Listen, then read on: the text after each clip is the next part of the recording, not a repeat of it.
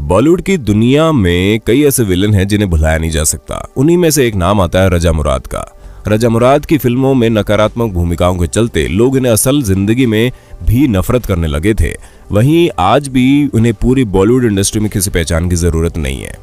इन्होंने कई फ़िल्मों में बड़े दिग्गज अभिनेताओं के साथ काम किया। फ़िल्मों में इनकी एक्टिंग को इनके फैंस द्वारा काफ़ी पसंद किया जाता है। ये जितना अपनी एक्टिंग को लेकर चर्चा में रहे, उतनी ही अपनी धमाकेदार आवाज़ को लेकर सुर्खियों में बने रहे। पर दोस्तों, क्या आपने बॉलीवुड के खलनायक के बेटे को देखा है? जो बड़ा हैंडसम है तो कौन है इनका बेटा? वर्तमान में क्या करता है, ये जानते हैं। पर जानने से पहले अगर आप इनकी एक्टिंग के फ़ैन हैं तो एक लाइक तो बनता है। अपनी बुलंद आवाज़ और एक्टिंग के लिए जाने जाने वाले रजा मुराद को आज हर कोई जानता है। इनका जन्म 23 नवंबर 1950 को हुआ। फ़िल्मों में नकारात्मक भूमिका निभाने के लिए पूरे भारत में ये प्रसिद्ध है।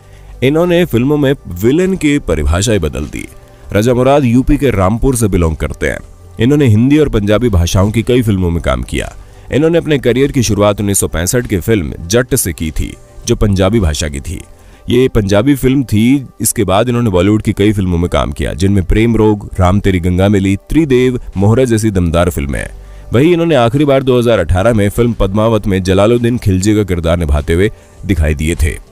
लेकिन अगर बात करें इनके बेटे की तो इनके बेटे का नाम अली मुराद है। इनके बेटे भी अपकमिंग फ़िल्म ढीठ पतंग से बॉलीवुड में डेब्यू कर रहे हैं। ये फ़िल्म अगले साल आएगी। वही इस फ़िल्म में इनके अपोजिट मेन लीड एक्ट्रेस के तौर पर प्रिया बनर्जी नज़र आएँगी। प्रिया बनर्जी एक बॉलीवुड फ़िल्म की अभिनेत्री है। आपको बता दें, ये फ़िल्म एक क्रिकेट बेस्ड फ़िल्म है। इस फ़िल्म में कुछ क्रिकेट से जुड़ी कहानियाँ बताई जाएँगी। तो दोस्तों, आपको रजा मुराद के बेटे अली मुराद के बारे में जानकर कैसा लगा, हमें कमेंट में बताइए। साथ ही बॉलीवुड से जुड़ी ऐसी खबरों को देखने के लिए हमारे चैनल को सब्सक्राइब कर दीजिए।